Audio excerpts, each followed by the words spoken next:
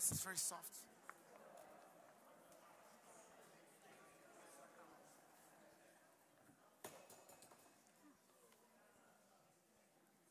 Okay. Check one, two. okay, good evening, everyone. Thank you very much for coming. Um, welcome to the Cambridge Festival. Um, without further ado, I will pass over to our lovely um, event for this evening. Thank you very much. I'm going to stand up. I can't, I can't. So, uh, testing, testing. Can you guys hear me? I don't, we can hear. Fantastic. So, listen, my name is, uh, first of all, I'm questioning your, your life decisions while you're here before Easter, but that's fine. You're here. It's too late now. You can't hear us. People can't Hello? hear me. I don't know why people can't hear me. Testing, testing. One, two, three. You can hear me. Oh, hi. Hi. Okay, fantastic. So, um, oh, there we go. Now you can hear me. Excellent. So I'm questioning your life decisions about why you guys are here, but it's a personal thing. You can't leave now, so thank you very much. My name is Giles Yeo, um, and this is uh, Na- Nazia Habib, and, um, and we are very, very delighted to be here to have this conversation. We, I, I got slightly concerned because normally I talk at people. I don't talk with people. That's not true. But I don't know what this conversation, hopefully, this conversation will be enlightening not only for you, but for me as well. All right? And we are here to discuss, as you can see here, hunger is rather grand almost. Hunger, how we eat or can't eat affects our mental and physical health. And we may and we will touch on elements, elements of this. But I guess I wanted to pose the challenge to you folks and, and, and what we're going to be talking about and what we hope to elicit questions from you folks tonight. And the challenge is this. So this is pre-COVID, so this might sound like a million years ago. But in 2019, UNICEF reported on childhood nutrition. Okay, and this was part of their childhood nutrition report. I'm not making it up. You can Google this. And, and they zeroed in, to my mind, on the issue at hand. And the issue at hand is why are so many children eating too little of what they need, while an increasing number of children are eating too much of what they don't eat? Okay, and we are going to be tackling this from both these ends. I, I am someone who studies obesity, and which doesn't sound like malnutrition, but actually it is overnutrition masking malnutrition. Nazia here will be talking from the other end of the spectrum. First of all, uh, um, you know, from a big macro uh, e- economics perspective, dealing with things, but actually dealing with undernutrition.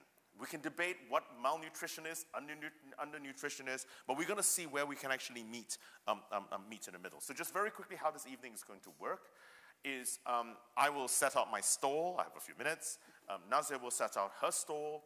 We'll do a little bit of ping pong in terms of just asking a few questions. And while we do this, hopefully 20, 25 minutes or so, all of you intellectual people here will be considering deep and intellectual questions. Don't worry, we'll take all questions, deep, no, shallow and non unintellectual as well. Um, and then, and then, it, it, but we'll open to the floor. We'll have um, and we'll have a discussion, and hopefully, and I'm hoping to learn something new because I'm a rather myopic um, molecular biologist, really, in in, um, in in in life. So, is that was that does that reflect accurately what we discussed? We, I, I had a drink before. That- I think that ge- generally, generally refl- reflects it. So, um, if I might, I'll open, I'll open the stall. So, um, as I said, I'm Giles, and I study genetics, I'm a geneticist, and I think being a geneticist is being a perfectly upstanding thing to do. You know, my mother-in-law still speaks to me, so that's a good thing. But, but when people ask what I study, and I say I study body weight, which I do, but on one end of the spectrum just happens to sit obesity, so I study the genetics of obesity, immediately I become the bad person. And I become the bad person because I'm perceived as giving fat people, overweight people, people living with obesity, terms I do not use in any pejorative fashion whatsoever, an excuse. Now, philosophically, that has always been an interesting take for me because if we were studying the genetics of anything else, cancer, dementia, arthritis, whatever, you know, I don't think, oh, I hope not anyway, that people would think that this is, this is an excuse, right? I mean, I'd be trying to understand biology, mechanisms. I mean, God forbid I might be trying to help somebody. But when we talk about body weight, suddenly there is this whole concept of choice, of, of, of bad habits, of slothfulness, of all, all of these things that suddenly actually come, come, come into it. So I study the biology and the genetics of, of, of body weight. But then the, the issue is, and what people always throw at me is number one, but we weren't uh, uh, we didn't have problems with obesity in the 1970s. You can turn on any te te television. You know, obesity wasn't a problem. I would argue that obesity probably was a problem, but not at the frequency it was back then, and that is true. Okay? And our genes haven't changed since the 70s, 80s. Well, maybe for. I've been alive throughout the entire process, and so it has been a change in environment. And ultimately, what we now understand within the concept of the genetics of body weight. So, first of all, the genetics of body weight is the genetics of the brain and how it influences feeding behavior. Okay?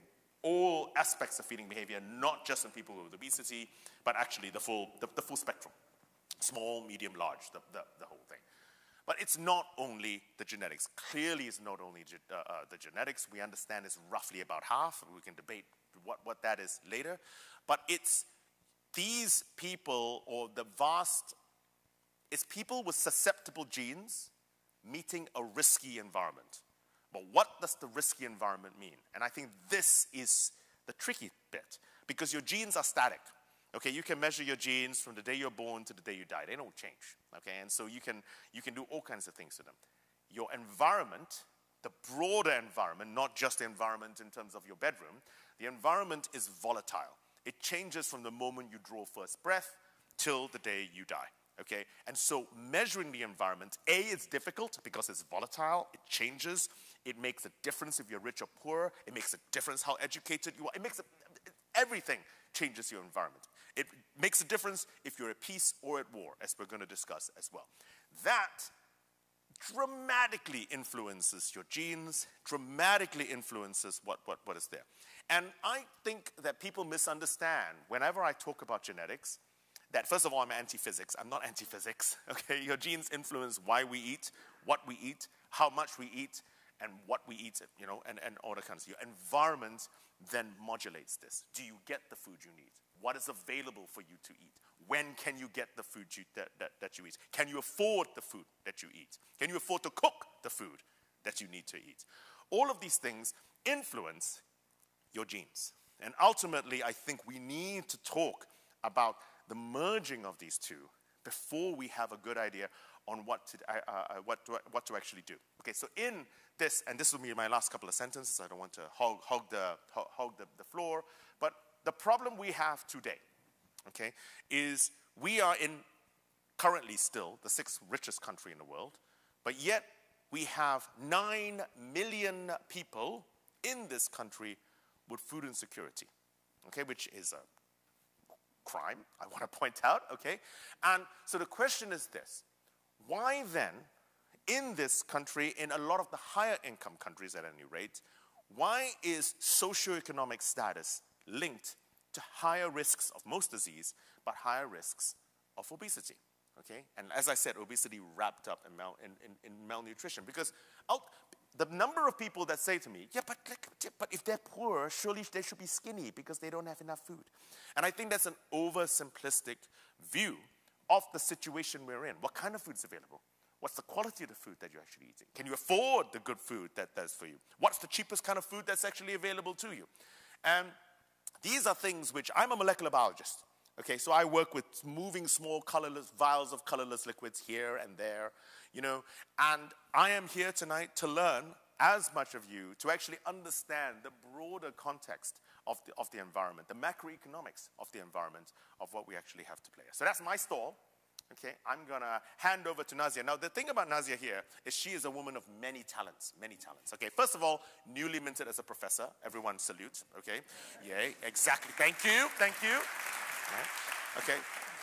Uh, the, the, the, second thing is she's got a multitude of masters. I can't remember what all her masters are, but, but she comes, she, she comes, and a PhD. I don't remember, but, but she comes from, from a situation of systems engineering and macroeconomics and social science and bringing all three together. Now, what Nazia said that I was, uh, as we were having, she had a latte, I had a beer.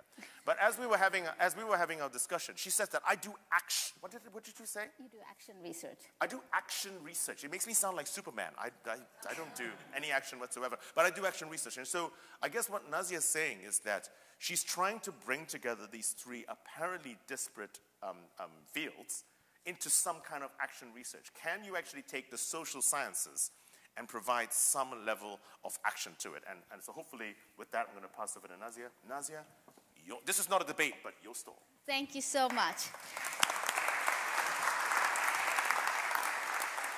And thank you for taking the risk to come and listen to us today. And um, as Giles has already wowed you, I'll be on his halo effect because he's not newly minted. He knows how to be a professor. I'm a newly minted professor grade academic in this university. It took me two years to get to that point of applying for one year, took me one whole year, and then waiting for another whole year whether they will actually make the choice or not. During that process, my in laws didn't talk to me because I didn't know what I was talking about.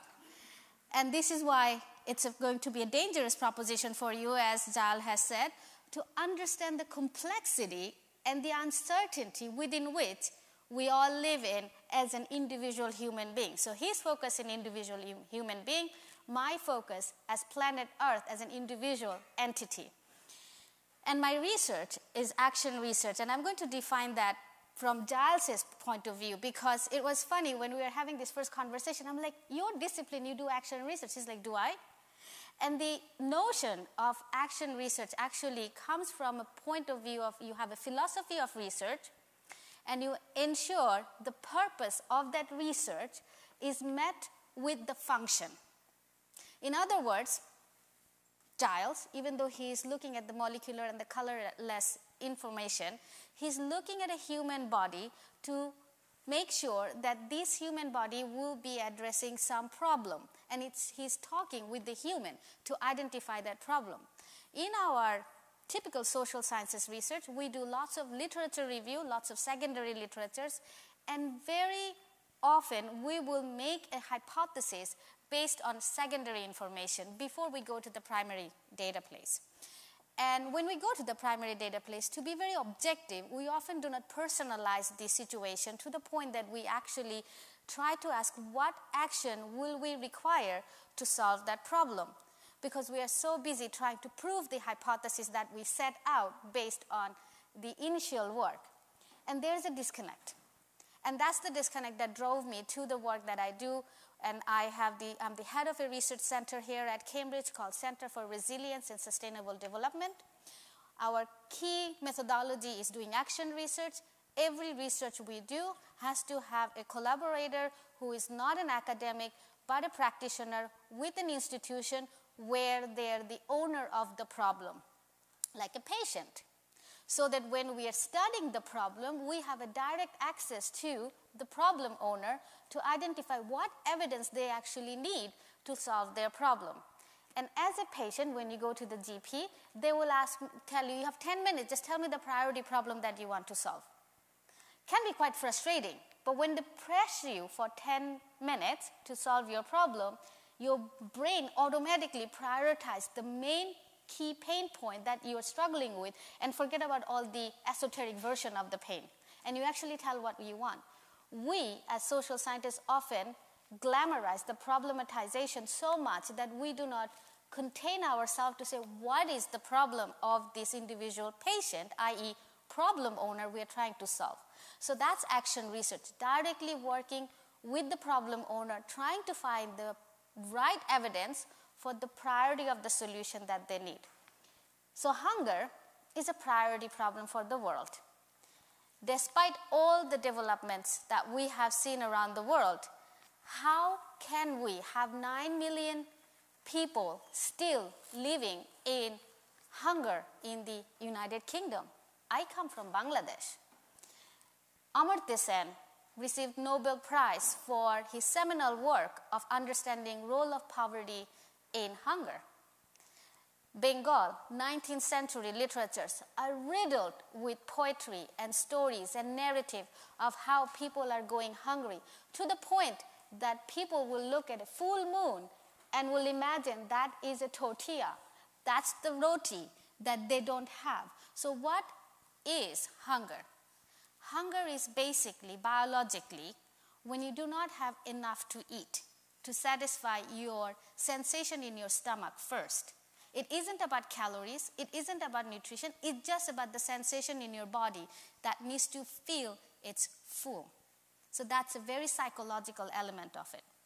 What is hunger from biological science? Giles has the answer to it. What is hunger from political science is ability for a political organization, call it nation state to actually offer you food or give you the land and the instrument for which you can produce your food. What is economics has to say about hunger? It's about having the money to either invest in producing the food or having money to buy food, right? What is hunger from engineering point of view? That's my other discipline that I am um, catalyzing in social science is the engineering thinking, systems engineering.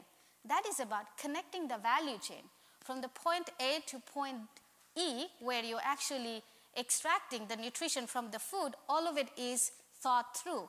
That is system engineering version of hunger. If you do not have the value chain and the supply chain put together, there is a break point. In that case, food doesn't arrive in your household. Food doesn't arrive in the store. You don't have access to the food.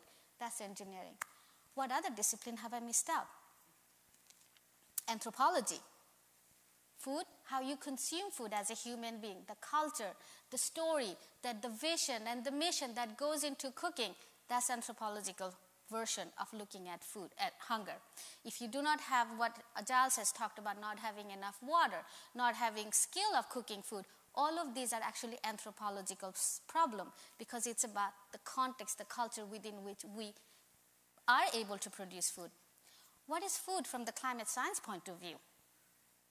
What is hunger from climate science point of view?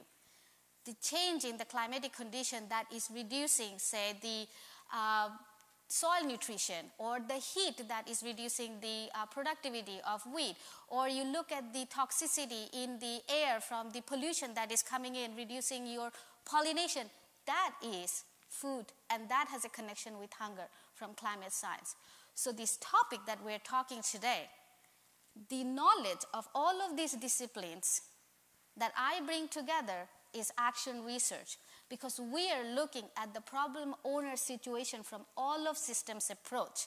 And all of system is about who you are where you are what you do and how you consume food will dictate whether you're hungry or not from the sensation all the way to the nutrition that comes together and I will pause in this place and let Giles take over and start the uh, session because I hope that gives you enough sense, dangerous proposition that we are going to take you for a mind game of how to address this question for the world.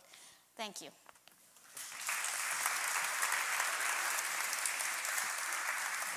So you see, first, first of all, we have an issue here. I study one scale, she studies 16 scales of, of, of, of, the problem. So I think that, that's the issue. So I guess let's start macro, and then we can do micro. In terms of the role of public policy, then let's deal with that. What is the role of public policy? In fact, let's do two things. Define malnutrition versus undernutrition. I think we are, let's at least get, get some definitions on, on, on the floor of the difference between the two of those, what the scale of the issue is, and what do you think the role of public policy has to play in, in these two terminologies, malnutrition, undernutrition? I think that's a very interesting question, but I'm thinking from the benefit of our pop, wonderful uh, audience here, wouldn't it be better to go from the body to the border? Okay, the body to the border. So I start with the simple answer first. Yes, the okay. gene, because I think that will enable people to actually appreciate why malnutrition in and of itself is such a confusing term. So, okay, okay, okay, fine. Let's let's do that. We'll start. I'll, I'll listen to you. Because policymaker does make de- uh, depend on your definition. So I think I think the, the, the the thing about malnutrition, I mean, as it says, is not getting the right nutrients. And this is why there's a confusion about whether or not obesity is malnutrition because look, you're well fed, you're large. How, how is that malnutrition? But you can be well fed on um, calories, okay? And, and for, for, those of you who don't know me, you know I say calories don't count and people think I'm anti physics. That's not true. And, and the reason is because calories are just one measure and they're nutrient blind, they don't tell you anything about it. So malnutrition could be you have too much sugar, fat, salt. It could be you have too little protein, you have too little um, fiber, you don't have enough micronutrients. And that can be true whether or not you have too much food of the wrong type or not enough food at all. Okay, of, of the two. Now, in terms of the genetics element to it, I think because your genes, as I said, the genetics of body weight, we now understand to be the genetics of why, where, how much, where we eat. It influences why, why we actually do what we do. Okay? And so what matters is there are some people that are more driven to food and people that are less driven to food. And depending on what is placed in front of them, they will eat it or they won't due, to their driver. Now, if you're in a situation in which the food in front of you is not great because you are in a lower socio-economic class, that is what you would eat. If you are in the same driver as me and I live in a leafy, very, very nice village where Deliveroo doesn't deliver, which is a blessing, I want to point out, then, then you end up eating the carrots and hummus in my fridge, whatever it is, uh, I, I, I, have, I actually have access to. So your genes form an underlying driver as to why you may or may not eat. But because it has very little control in what is placed in front of you, then what in front of you matters as much as, as, as, as what your genes do. Now, your genes don't only tell you how much to eat, they tell you whether or not um, you have a sweet tooth or not. Do I prefer fatty foods? Do I like uh, uh, uh, foods that are more calor calorically dense or not? And all of this is clearly influenced as well, as well by hunger. But so I think that, that, that is probably the statement where your genetics influences all of the actions that you have of your drive towards the food, but it can't control the food that's actually in front of you. So that's actually a very important thing to remember on the, uh, on the genetic side. And when we're doing, talking about public policy side, oftentimes that's not at all the consideration because uh, majority of the conversation on hunger and malnutrition actually dominated by the access to the nutrition point of view, which is not the body's own access triggers, which is the genetics, is more triggers of the political economics and other exogenous effect to the context within which you are having access to food. And so there's a couple of definitions that I'm going to throw at the audience right now. So hunger, quite a lot has to do with the sensation of your body feeling full, right? So that's very generally understood. Malnutrition, as the word mal means, poor or bad nutrition, right? So then the conversation there, as geneticist you mentioned, is about your body the ability to consume the food, to break it down, to even attracted to the food. And chronic malnutrition means that whatever reason that persistent happens over time to multiple people over a period of a year, because as a policymaker, you need to look at the quantitative elements to it. So you can think about is it something that we need to do something about it? Then it becomes a chronic malnutrition. Chronic malnutrition, when you think about it, lasting for over a year means that the political economics of that nation state or the domain of the geography could be a small state of a larger country like in the United States, lots of pockets of poorest community for longer than a year suffering from not having good nutrition. So that's where the link between malnutrition and the public policy comes in. On top of that, if it happens at a situation where countries are at war or the climate change is threatening the production system, then you're now looking at the other level of malnutrition that is linked to not politics or economics, just the geographical condition and the climate change threat. So now the debate on hunger and malnutrition has actually gone beyond the spectrum of just body feeling happy and healthy with the nutrition that it is getting, but also where the body is located. So policymakers globally also have to consider the people quantity residing within a geographical footprint. In other words, school meals, hospital meals, restaurants, all of these become part of the headache for the policymaker to make sure there are enough food available for the population who are living within that demogra- within that geography. So public policy point of view of hunger is actually very complex and multidimensional and it actually has much more granular and nuanced misunderstanding on the propensity of how even consume food has to do. So that's where the behavioral or psychology of food comes in. So your, so, in, so your interest is in NENA, you said, but uh, North Africa and Near Eastern, uh, what, what? That's the recent project for with the food and agriculture organizations. Uh, North Africa and Near East region is one of the regional headquarters of the FAO, where we have a FAO is Food Agriculture Organization of the United Nations, where Okay. we have a large project with them to train 15 countries of the North African Near East region, shorthand NENA region, uh, to deputy minister level on teaching them on systems thinking approach to hunger. All of that's eight discipline that I have introduced you today.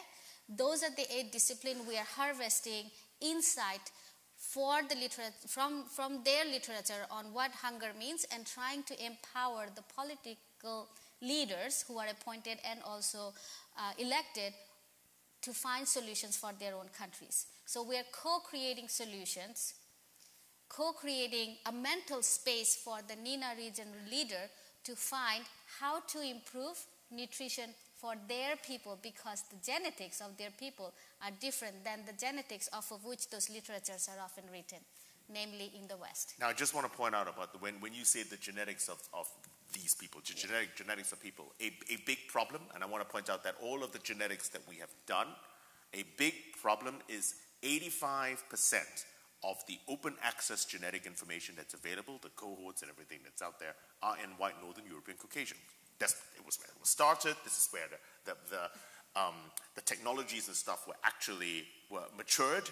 The problem is, if we only study with a myopic view on the genetics of one type of people, it doesn't answer questions about our ability to handle nutrients, about, about anything else from, from, around, from around the rest of the world. In terms of who else ranks, the Han Chinese, because the, the Chinese government are throwing money at this, uh, are, are beginning to come up. Asia, South Asia, there, there are numbers that are actually co- coming up.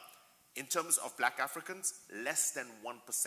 In fact, probably less than half of 1% of the genetic information that's available for analysis for talking about this is actually available open access. So, sorry, I just, just, that's just to jump in there to point out that actually we don't have anywhere close to the amount of information um, um, um, that, that is required. One quick question. And I just want to, Yeah. before you come to the question, because it's a discussion based, I think because of that reason, action research type is actually, I would say, a band aid to this problem of not having any enough data, that you are co creating solutions with the problem owner because we do not have that. Because, you know, everyone talks about evidence based policy making. And I find it quite confusing myself, even though I, I, I, I am someone who, uh, in the business of creating evidence. If enough of you believe in something, no matter how wrong it is, and you know all the history of genocides around the world, that isn't enough of an evidence to change a country's mind and go and do atrocities around the world. That's evidence, pure and simple. And I think when we run after evidence like that, we become another type of myopic patient because we're not focusing on situation where you don't need an evidence. What you need is to come together and co-create. So I'm going to throw up another word at you, science of co-creation. I think that's what we are doing in my research center. We are developing tools and techniques and methodologies for the region for the countries where they do not have that kind of granular scientific evidence to be so objective then say this is the right approach. In that case, whatever the decision the evidence-based policymaker are making, making are still subjective. Let's get this clear. Evidence-based policymaking does not mean that it is fully objective. There is still subjectivity in it simply because our cognitive lenses are filled with cognitive biases. And it is not a filter that you can just take out, clean it, and put it back in.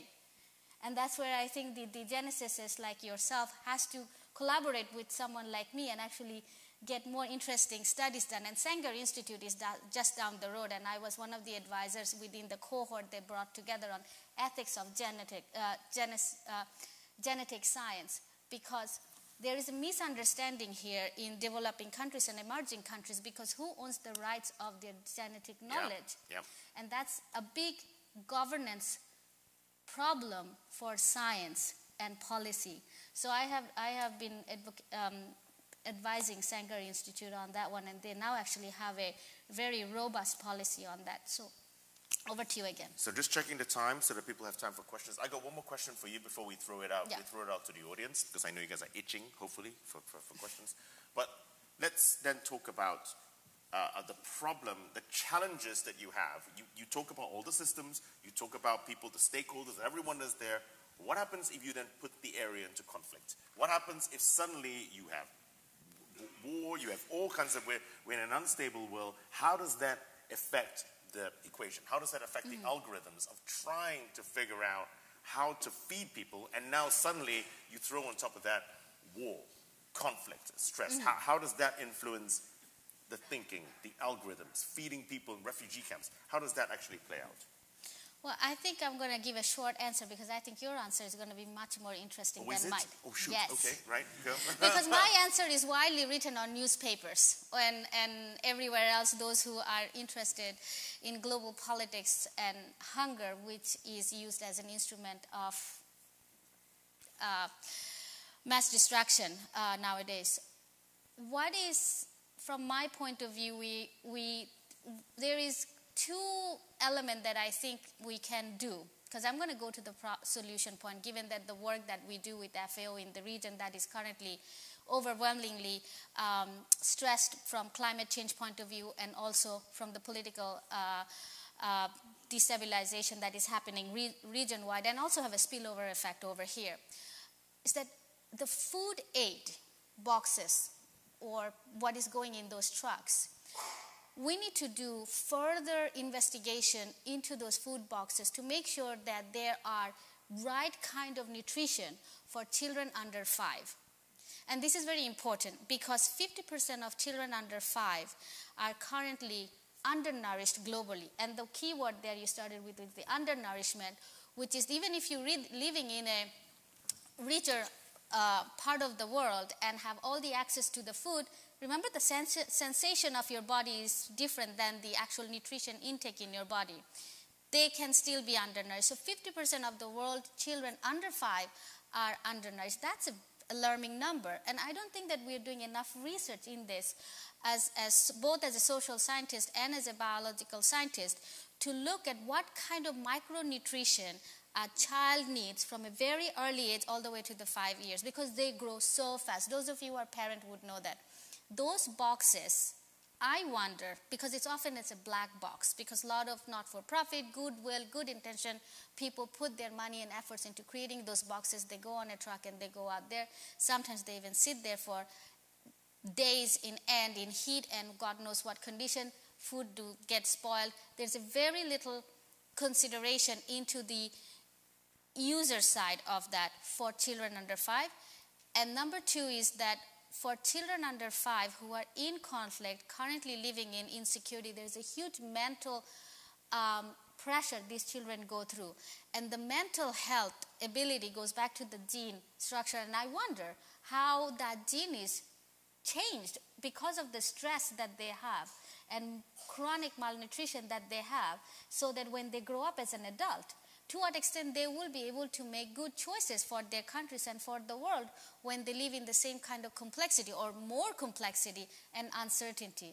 And that's where suddenly me, the optimist, and uh, someone who lives in the abundance, because I have so many disciplines that I work on, I feel like knowledge is everywhere, suddenly become very nervous and insecure because I do not see we're feeding our children under five with enough quality of nutrition and not giving them the power to become a better global citizen to solve some of the silliness and the craziness that currently the world is going through.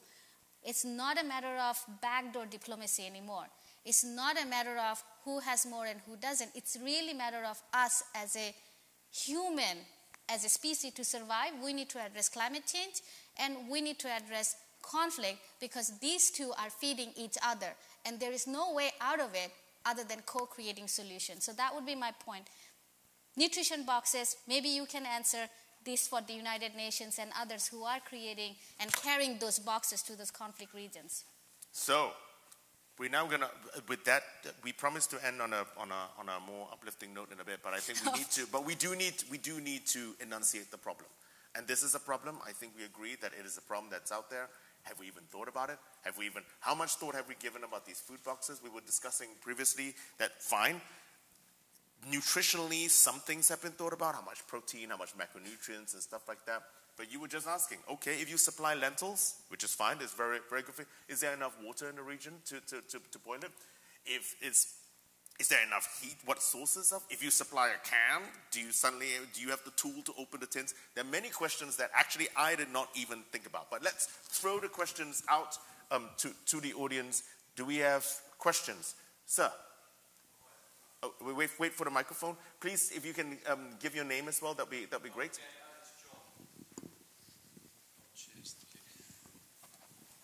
Hello. Oh, can you hear me? All right. Mm-hmm. Hiya. Oh, Yep. thanks. Thanks very much. Great, great speech. Uh, I don't know if this is a, a question that's a little bit off topic, but how, like as a society or whatever, how do we accept different types of uh, bodies? You know, people that are a bit bigger or people that are a bit more plump, but at the same time, be, I'm kind of worried about you. I think if you were to lose a bit of weight, it would be good for your health. Do you understand the question? I do understand the question. I think it's a more complex question than you might actually imagine. I think, um, okay, it's, it's not that off topic to be, to, to, to be fair. I think it, it, it boils down to this, okay, in terms of we think too much about weight and not enough about health. I think ultimately that is what the situation is, is because you can have people who are in larger bodies but are actually healthy and people who are skinny and are not. Okay, ultimately, that, that, that's going to be the situation. It's true that on average, if you are heavier, you're more likely to be unhealthy, and if you're uh, uh, uh, lighter, you are less. But actually, there's going to be people on the other sides.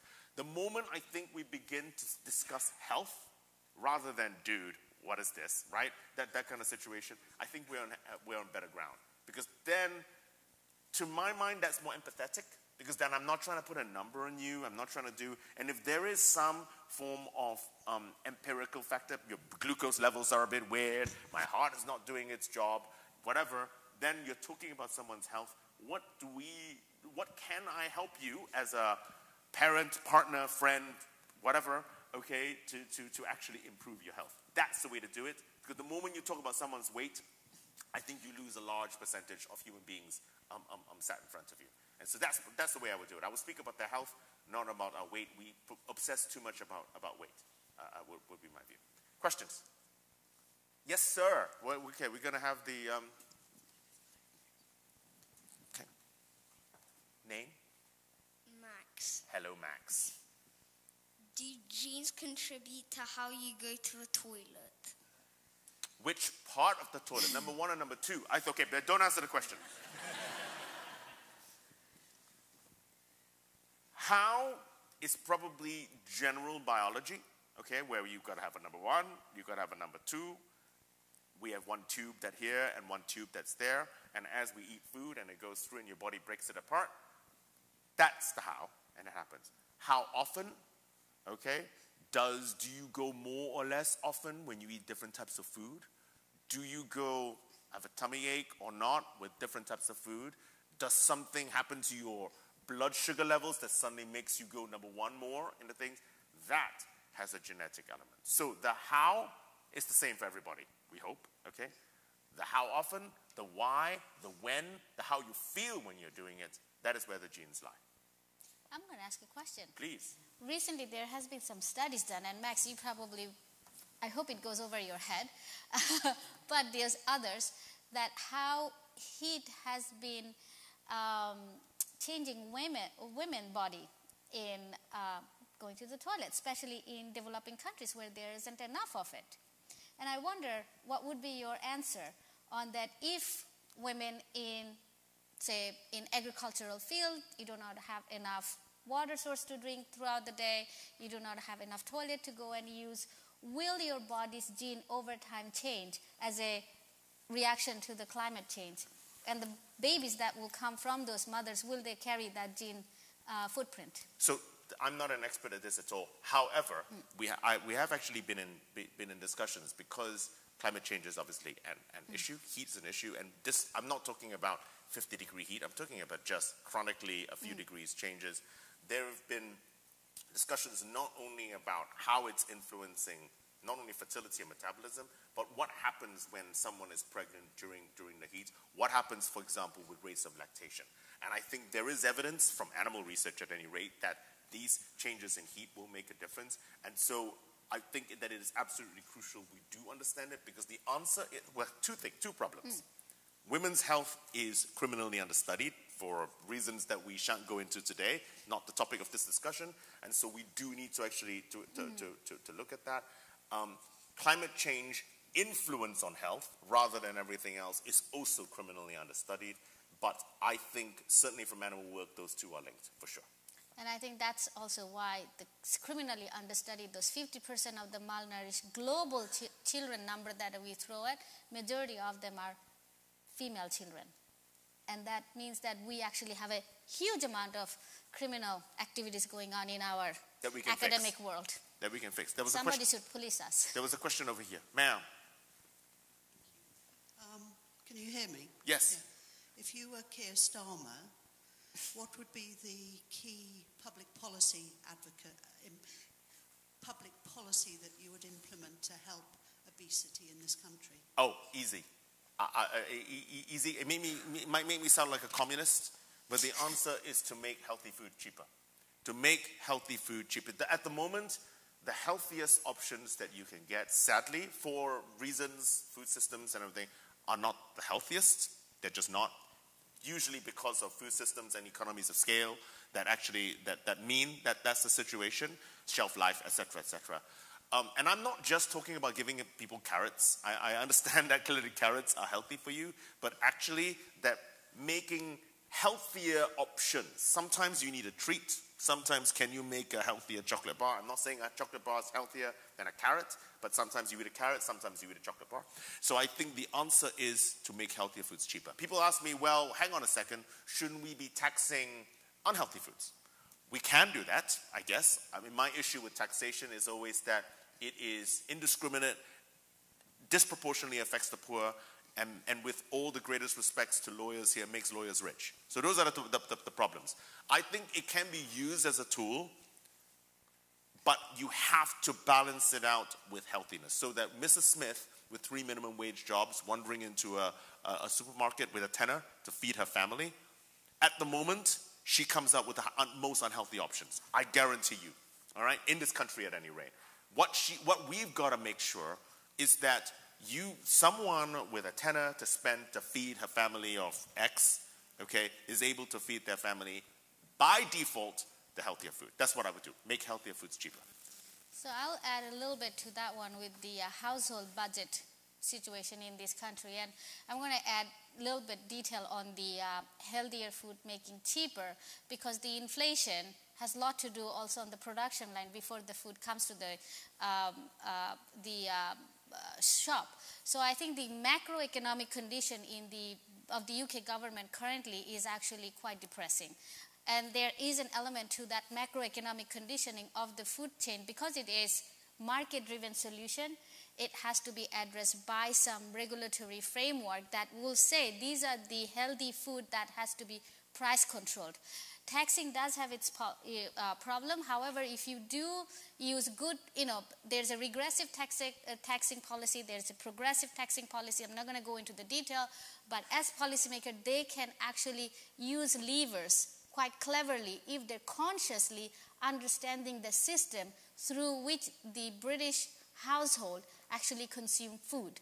And this is not a rocket science, it's just about all of system approach. There are methodologies, there are tools that you can deploy and co-create neighborhood by neighborhood food pricing policies, and you can use that to change the neighborhood level um, uh, price control or price flexibility chart. Like the way you go to restaurants, it has a A, B, C, D grade of the quality of the food, uh, you know, the cleanliness. Why can't you have the same kind of price control, quality control on the grocery stores so that the quality of food, access to markets, Marks and Spencers is no, not substantively different from the one that you got from Aldi or somewhere else. So why is it not done? Here's the question then. They need to come to Cambridge to our school. I'm being cynical. I think this all of system approach is something that is is relatively newish to the social science field. I, as I said, I am owner of this center that I founded. We work with 75 countries. We're trying to popularize this, but it is a hard job, and that's why we welcome this conversation together. Okay, questions? I think the problem is with um, wealthy versus poor, poorer countries is that um, our much poorer people in this country are time constrained. Time is the biggest killer. If I was um, had limited time, if I could go to a supermarket and there'd be a box like Hello Fresh, come get that tenner. The recipe's inside, or a link to a video, YouTube, fresh food inside, all together. I don't have to shop. I run in, I buy my tenner, I run out, quickly watch on my phone the recipe, follow that. I guarantee you in 15 minutes you can put this together for a healthy meal. We've got to think differently for different countries what the constraints are, which is obviously what we're doing. But for me, I, even for me to do a Jamie's 15 minuter, I can spend an hour in the supermarket getting confused about where all the ingredients are. I then have a real problem with the mess afterwards. It's a nightmare. You've got maybe work to do afterwards. And sometimes you just take the shortcut and you might buy the carbs and what have you. So I, even, you know, I know I've got the money to buy it, but I'm just short of time. So I think contextual, I, I think that, that is an excellent point, right? You've got to make sure that whatever solutions are context dependent. You, one size does not fit all. We know this. And that's why the whole of system approach, when you take that methodology, that that is the household level community level. So because you know neighborhoods you can identify neighborhoods based on what job they do how often they're in their household because that's what the census does. You can take a census record take it it's not really that hard giles. We can look at this from neighborhood to neighborhood you can look at even those people who are actually consuming hello food and look at how they do it. But ultimately we as policymakers connecting with genetical science could do the mapping very efficiently and start creating variable solutions for variable families and neighborhoods and create localized price control or price flexible objectives so that everybody has access to high quality nutrition. I mean, that is an aim. I, I am cynical. I just don't know if any government is going to buy that, ma'am. Hi, thank you. Um, my name is Melissa. Uh, what is your uh, view about the increased attention about ultra-processed foods, UPF? Is it uh, a good thing? Is it a moot point based on uh, people's income? What are your thoughts? Do you know, it's entirely related. Odd, oddly enough, it's, it's obviously in the zeitgeist. It's obviously in everyone is talking about it too much, in my view, but, but because then we're not focusing on the right thing. Here's the problem, okay? It is entirely related to what we're talking about because ultra-processed foods is an imperfect way of trying to categorize the nutritional quality of food. That ultimately is the problem. Okay? I think that um, despite all the debate around it, it's slightly navel gazing to my view, um, is that all of us want to do is in our own national context, regional context, neighborhood context, is to improve our diets. Why would we not want to do that? And more importantly, because unhealthy children, unhealthy adults, healthy children, healthy adults, to worry about this for children. Okay, so I think we can agree with that. And I think we can agree we're not going to shout uh, at each other about that. The problem with ultra processed foods is, is in an imprecise measure, it groups too many foods together. They're uncontroversial, unhealthy foods, I think. Okay, and they're foods which sort of sit in the middle, a bit of yogurt with some jam in it. Most supermarket bread, you can guys can begin throwing bread at me because for those of you who read my Guardian article as some as some anti-bougie bread person. I'm not, okay? I, I'm anti people who make people who can't afford bougie bread to feel bad. That didn't make any sense, but you know what I mean. So I think that's the problem with ultra-processed foods. It, it, not as a, it's an imperfect and imprecise way of trying to categorize the nutritional quality of food. And I think we need to do better. I think we can be more precise. I think we can use units, you know, of, of, of measure, and that is what we need to do. Ultra processed foods threatens and already is being used, to my view, to food shame people. And I don't think that should be the way that, that, that, that we function. That's my view on ultra processed foods. I'm going to add a historical bit on this because ultra processed food, if you go back in the food history in the 1980s and 90s when the globalization became a big thing from the West to the rest of the world is consuming, was the food of the status. The more ultra processed food you yeah. will have, like the whiter rice and the white flour, it was part of being richer and wealthier. So the other narrative to this is that now we're changing the narrative of what is wealthy and what is healthy is to become organic, is to become all of this bourgeois stuff. But then the other bit of the problem of the story is that not all organic is actually A, environmentally friendly, and B, are actually the right kind of food you should be consuming.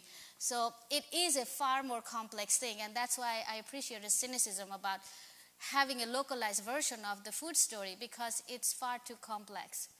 Uh, but we have to be hopeful. We have to be hopeful. Now, I know there's a question. Is there a que- question here? I'll come back to you, sir.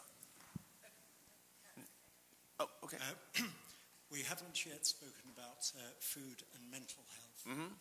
Um, we've done a lot of work over the last five years looking at the effect on, of foods on depression in particular.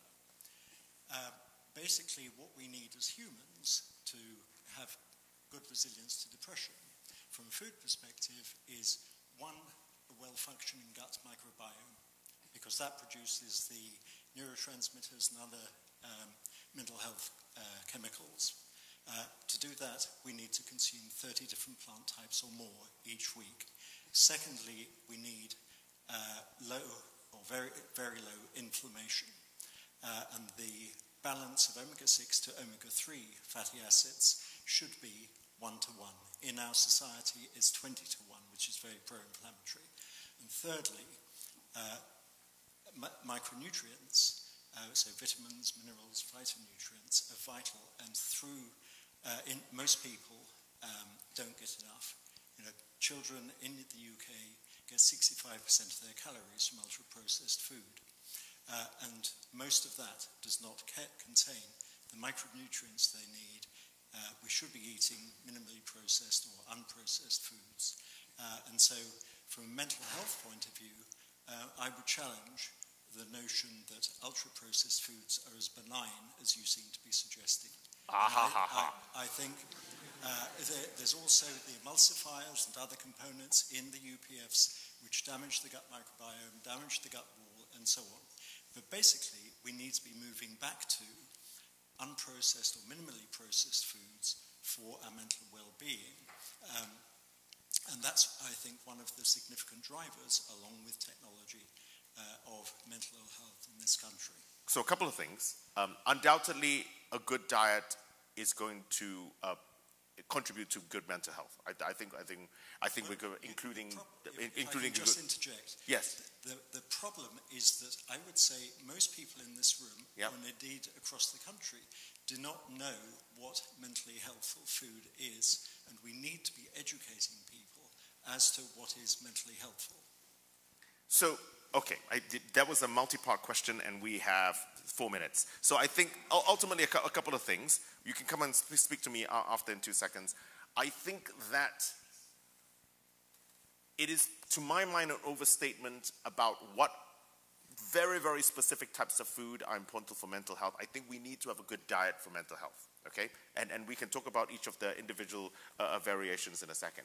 I'm not saying that ultra processed foods are benign. I'm saying that ultra processed foods is too broad a church to group the, the, the foods that are not benign versus benign, that under the ultra processed food umbrella, there are benign foods and not benign, benign foods. That's my issue, okay, uh, uh, um, um, for that. But no, I, I think we we have to be in agreement that, that you need a good diet for a full body of health, including, in, including mental health and including some of the, the, the details you've actually provided. We probably have enough question time. Let's do one short question and we'll see how, we'll see how that goes. Hi, my name is Diana. I wanted to ask about comfort eating versus non-comfort eater. Um, have you found, yeah, I know like it's normally psychological, but have you found anything genetic based to that? Okay, so that is an interesting, interesting question. Comfort eating versus no comfort eating, just to put simply, the people who are eat when they're stressed and people who don't eat when they're stressed. But it's the same hormone, it goes up, it's cortisol. Um, but yet, diametric opposites. I think the, the answer is this mechanistically, we have no, I, I was gonna, we have no idea why. However, let me give you a, a sort of my understanding of, of why people comfort eat and why some people don't. Okay? Being stressed is unpleasant. And so you want unpleasantness to go away. And so you try and do something pleasant. Now, for some people, that could be running a marathon. We had people. That, for, for, for other people, it could be bungee jumping. It could be obviously drugs of abuse. I'm not saying that, but for some people it is. It could be alcohol. For many people, it's food.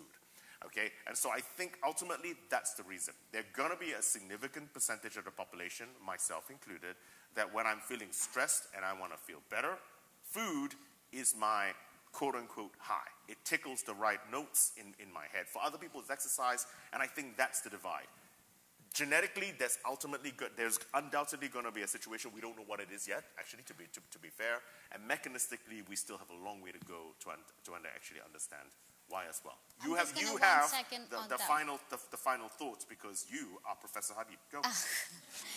I think the, the last point on there and this point here actually are both very important for mm-hmm. us as academics and public society here to ask for more information or more evidence on because as the stress level globally is increasing, we are actually prone to actually having more processed food because easy to grab a bar of chocolate right? So there i see there's a correlation. I also see a huge correlation on that one with the the food box that we se- we are sending out to conflict region or to climate stressed environment the flood and all the distress that we are having to make sure the micronutrition is there. Do we know and i wonder if anyone is doing a research like what would be a micronutrition based small satchel of you know food aid to go out? And should that be also easier to pass through those checkpoints? Because you don't have to give those prongs and instruments. I don't know. That's a new food science and i think we should invest in food science with the idea of a peaceful world not the world that is going to serve only one group of population who can afford it. And that would be my last thoughts So, Food for all. ladies and gentlemen, I hope you've learned as much as I have. Um, um, over have have I finished early? I just want to talk before. I don't want to. Oh, there's three more minutes. We got one more question. can We can do one more question, ma'am. You. I'll speak to you after. Back there. Sorry, I nearly shortchanged you. Don't don't. Hi, hi. My name is Valerie. Um, I'm really interested in the work you mentioned in the NENA region, working with different government stakeholders. And you mentioned the lack of data as a major challenge. Aside from that, what are the other major challenges that they are, you know, telling you that are stopping them or inhibiting them from making good nutrition policies? as I mentioned from the beginning, is that we do not do co creation as an evidence based research or evidence based space for policymaking. That's a new science, and we are really actively trying to introduce this to um, the NENA region because, as I said, like uh, my colleague here, Giles, when you work with the problem owner, they know the solution most cases. And they oftentimes even as a patient you'll go to the doctor saying that i think i might actually have this. Why don't you look into that? Actually there are studies found that 60% of the time patient actually knows what the diagnosis is. You just need someone to approve it. There's a co-creation between doctor patient on finding solutions. We don't do that. That would be my first answer to that. Those countries currently in the NENA region needs to co-create their own solutions and not depend on external parties or forces to tell them what the solution is. And when they do that, they're not accepting it, cortisol level goes up, and they're not actually focusing on the right aspect of the nutritional policy. Food nutrition box is one of the easiest thing I think we all ought to be prioritizing, but no one is talking about it. Why aren't we putting micronutrition satchel in all the boxes to make sure all the adults, age group based, separate them, age between 1 to 5, 5 to 10, because that's how I buy my micronutrition from the grocery stores or from the health stores. This is systems thinking, and this is where you can find more collective operational space. And actually, some audience over here might actually run a business out of it. I think there's a huge business potential to this. So listen, uh, Nazia, thank you so much for, for, for educating us far more than me. Uh, thank you uh, to, to, to the audience here for being here and listening to us rabbit on.